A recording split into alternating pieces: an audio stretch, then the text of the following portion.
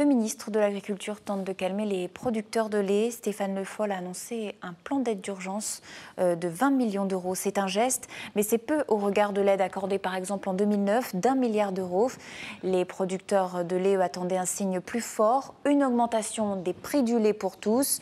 Le ministre n'en a pas le pouvoir, mais il doit rencontrer prochainement les industriels et la grande distribution. Cela pourrait se concrétiser par une augmentation de 10% du prix pour les éleveurs, 2 à 3 pour nous, les consommateurs.